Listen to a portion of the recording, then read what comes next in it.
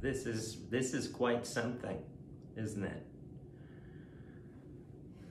I'm just reaching out with a message that I hope will be supportive.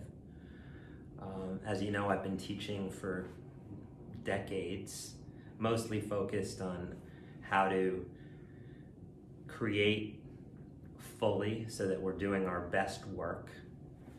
And today I just really want to address this global pandemic that we're in.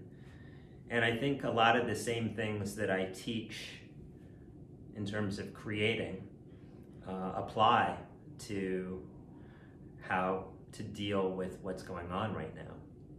So as we create, typically what gets in the way for most people is feeling certain things that they don't like and having thoughts that are abusive and, and get in our way. So there's no doubt, you know, you just turn on the news, there's no doubt that uh, watching the news, which we're all doing, is generating fear, panic, anxiety, a lot of body sensations. And it's also leading to a lot of panic thinking. So, the panic thinking is really what I want to address because once that starts, cortisol gets released in our body. We start burning burning the engine unnecessarily high and it's not good for our immune system. So here's, here's, what, here's what I suggest.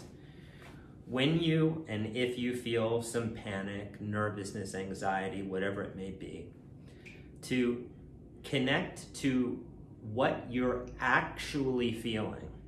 Like what is the you know we're a mass of atoms. What is what are the vibrations that are happening in your body? For example for me if i'm feeling fear it's usually like a like some pressure in my upper chest upper torso kind of pushing up into my neck and that's what i call fear. So for me when that happens if i try to suppress it and like calm down basically what I'm signaling is don't feel my body, and then my attention goes into my head, and then I'm in a mental drama. And that's what we want to step out of. It's not healthy. It doesn't. We need to boost our immune system. So when you feel whatever it is that you feel, take a breath and just connect to it. It's there. It's just, it's not bad. It's just an energy because we're atoms and these are just pulsations, vibrations happening in here and at the same time, connect to what's in your immediate environment. So you want to see as if you're seeing your immediate environment for the first time. So see it in terms of light and texture and color and space. Take a look. Feel this sensation. Do this now.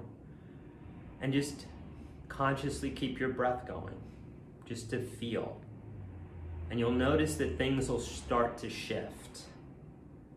As soon as you're aware that you've gone back up into your head, into kind of tragic, panicky thinking, return back to the body, feel the sensation that's there, connect to the immediate environment, and keep the breath going. And that is key to nurturing your nervous system. We gotta, we can't spend time up here. It's just not gonna support us. It's a unusual time, no doubt. And we have to recognize that our nervous system, our ancient nervous system gets triggered. It's, you know, our, an, an ancient message that our nervous system used to survive was don't leave the cave because you'll get killed.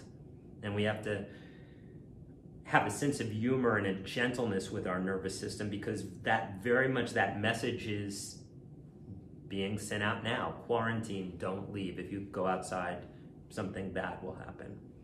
So we can recognize that that will get triggered in us and the way to come back is just feel the actual sensation and connect to what's really in front of us right now.